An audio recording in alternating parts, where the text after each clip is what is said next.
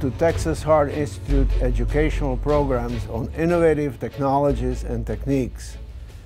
My name is Zvonimir Krajcer. I'm an interventional cardiologist at Texas Heart Institute and Baylor CHI Medical Center.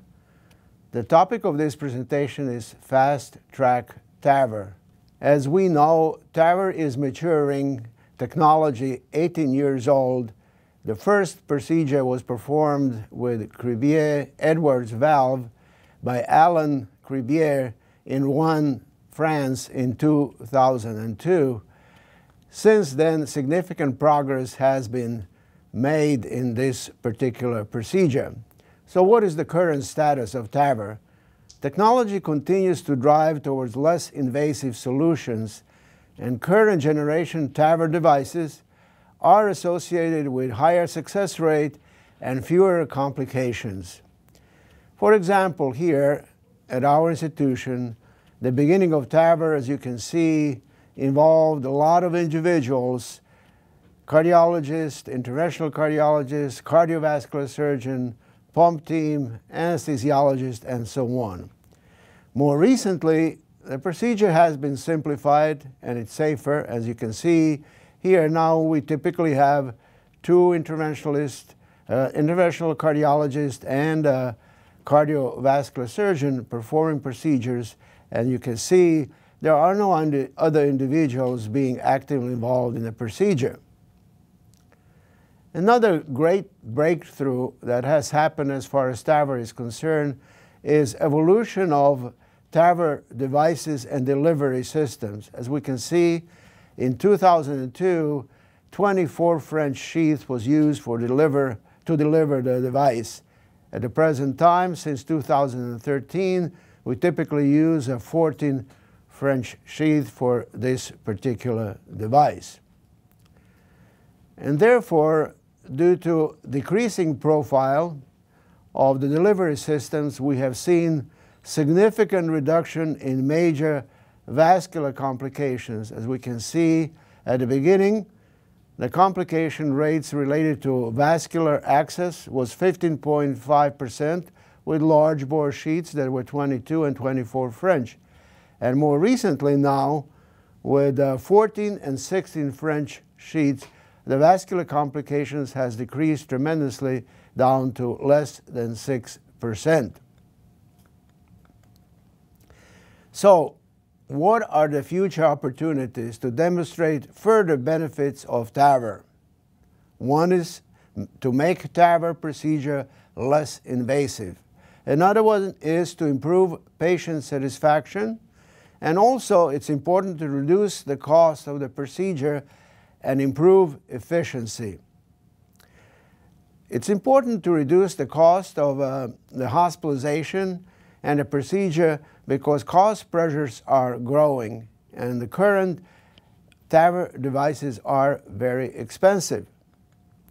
So the goal would be to perform TAVR in a cardiac cath lab that's less expensive than the operating room under conscious sedation rather than general anesthesia with percutaneous approach rather than femoral artery surgical access and repair, and post-procedural monitoring on a step-down unit or a telemetry floor rather than in a costly recovery room or ICU, and then finally to be able to discharge the patient within 48 hours of the procedure.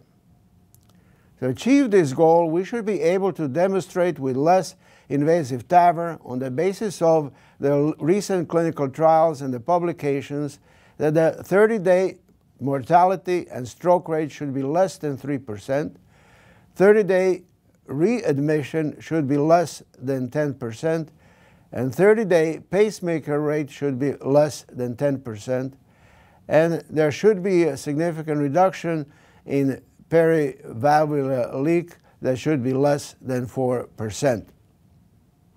I would like to share with you our personal experience with Fast Track TAVR.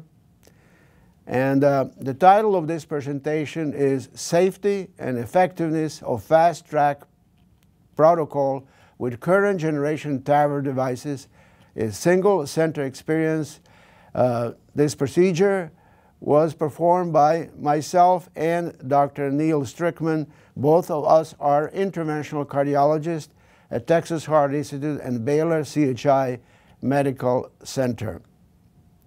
The methods included uh, in this study uh, eva evaluation of safety and effectiveness of the minimalist TAVR protocol in patient population that satisfied accepted Sapien XT, Sapien 3, and Evolut R and Evolut Pro TAVR inclusion and exclusion criteria.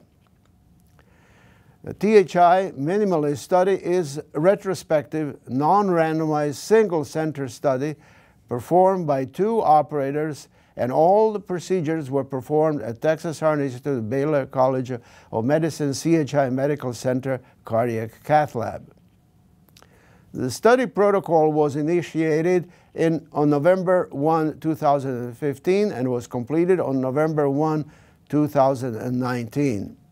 The minimalist approach again was considered as procedures that were performed with conscious sedation, local anesthesia, and percutaneous access and repair using current generation femoral artery closure devices such as ProStar and MANTA.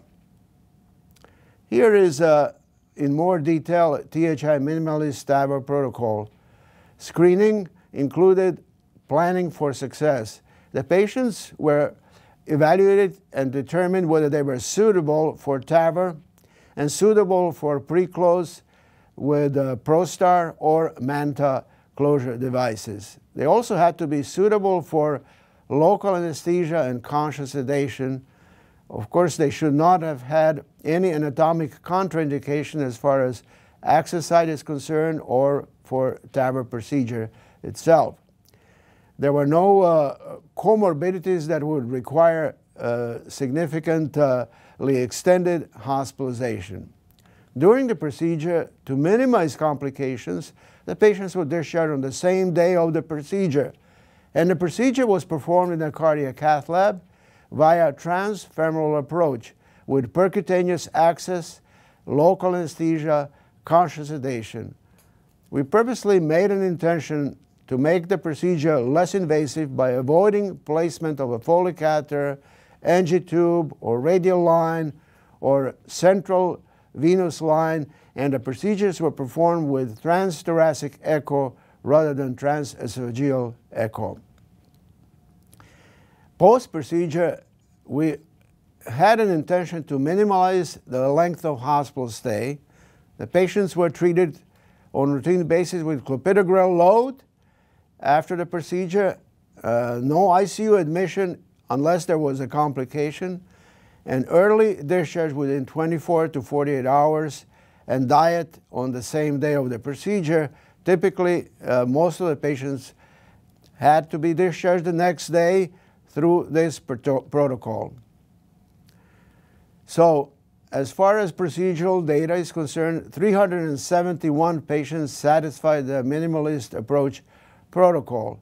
The devices that we used were Sapien X3, XT in 12% of patients, Sapien 3 valve in 87.3% of patients, core valve Evolut R and Pro in 12.4% of patients, and valve-in-valve procedures were performed in 5.3% of patients.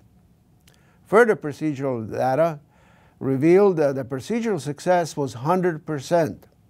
The total procedure time was 100 minutes.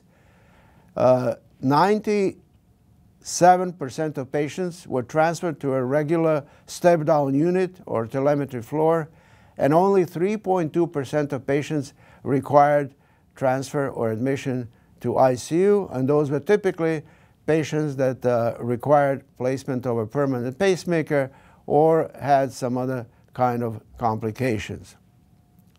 As far as TAVR outcomes are concerned, in 371 patients, conversion to general anesthesia was uh, needed in 1.3% of patients, which is very low. CVA occurred in 1.6% of patients. And complete heart block that required permanent pacemaker implantation was needed in 7.5% of patients. For CoreValve patients, it was higher. It was 17.8%. And for Sapien XT and Sapien 3, it was 6.1% of patients. Vascular complications occurred in 6.1% of patients. There was no hospital mortality. Post-procedural outcomes revealed that median length of stay was 1.4 days.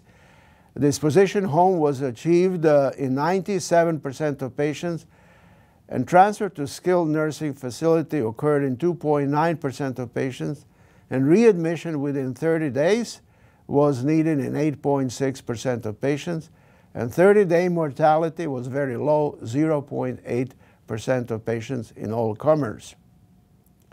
We compared our results uh, with the Vancouver multidisciplinary but minimalist clinical pathway which uh, facilitates safe next day discharge home at low, medium, and high volume transfemoral transcatheter valve replacement centers, so-called 3M TAVR study, which included 13 North American centers and um, was performed in 411 patients. This uh, particular study was published by Wood and Associates in the Journal of American College of Cardiology, Cardiovascular Intervention in 2019.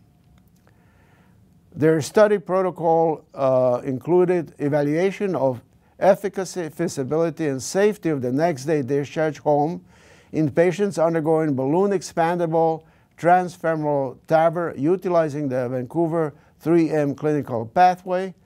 Patients were considered um, uh, in this study at increased surgical risk, and patients uh, uh, had to meet anatomical, functional, and peri-procedural inclusion and exclusion criteria.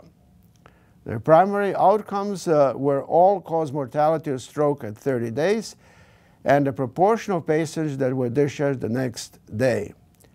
So here we can see a comparison of the Texas Heart Institute minimalist study in 371 patients versus 3M investigators uh, experience in 411 patients. As far as age is concerned, our patients were slightly younger. Uh, there was no significant difference in gender. Our uh, STS score was slightly higher. It means that the slightly sicker patients were included in our study, particularly as far as STS score more than 8 is concerned. The mean ejection fraction was not significantly different. Uh, chronic uh, lung disease was slightly more common in uh, Texas Heart Institute population of patients, as well as diabetes mellitus, uh, and also prior, prior revascularization such as coronary bypass surgery or coronary interventional procedures. Uh, there was no significant difference in prior valve procedures, and as we can see, prior pacemaker implantation was slightly higher in our population of patients. Now, as far as the procedure-related variables are concerned, we can see that uh, 3M investigators had a significantly higher numbers of Sapien X3 valves implanted. Uh, we had significantly higher number of S3 valves implanted. The procedure time was higher in our experience than for 3M investigators. As we can see, no difference in uh, uh, conscious sedation and no significant difference in conversion to general anesthesia and no abortion uh, of the procedure uh, in either study. Uh, next day discharge was higher in 3M investigator population, but as we can see, discharge home within 48 hours was not significantly different between two studies. As far as uh, primary and uh, secondary uh, variables are concerned, we can see that mortality in a THI minimalist study was 0.8% versus 1.5% in 3M study. The stroke rate was 0.8% in our minimalist study versus 1.5 for 3M investigators. And vascular complications were 2.6% in the minimalist study versus 4.1 for the 3M uh, study. As far as readmission is concerned, there was no significantly uh, different uh, numbers. Um, and uh, as far as renal functional impairment, there was no significant difference. And as far as permanent pacemaker implantation, again, there was no significant difference between two studies, and the perivalvular leak uh, was not significantly different between two studies, as well as uh, valve-related uh, um, interventions were very low for both studies. So, in comparison, uh, THI minimalist study, when we compare it with a 3M study and all other previously large uh, volume uh, studies such as German Gary study, STS-TVT uh, study, STS-TVT with conscious sedation study, partner 2A study, Sapien um, 3 216, and Aqua, we can see that our study, as far as uh, STS score is concerned, has a slightly higher uh, STS score than um, several other studies. Uh, age uh, was slightly lower than the other studies. Median length of stay was 1.4 days, which is significantly lower than most of the other published studies. 30-day mortality was extremely low, 0.8%, which is lower than in any other uh, published study that are shown here. 30-day stroke rate was 0.8%, which again is very low.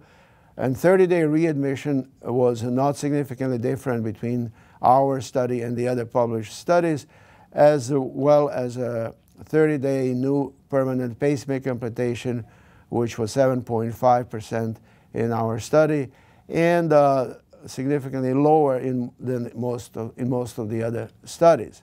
So, in conclusion, minimalist TAVR can be performed safely and effectively in properly equipped cardiac cath lab using MAC conscious sedation, local anesthesia, and femoral artery percutaneous approach. Uncomplicated patients remain stable post-TAVR using this particular approach. ICU can be safely eliminated for most of the post-TAVR patients because there is low incidence of bleeding events and other complications. And there's also low incidence of neurological events with current technologies and technique and experience. And it is safe to monitor patients in a step-down unit. In addition, overall length of stay can be significantly reduced by using fast-track protocol, and there are significant cost savings that can be achieved and anticipated with this particular approach. This procedure and this protocol should only be performed by an experienced TAVR team. Texas Heart Institute Minimalist Study is a retrospective, non-randomized, single-center study that was performed only by two operators and then, uh, therefore cannot be considered to be safe in some other environment where those criteria are not met. Thank you very much for your attention.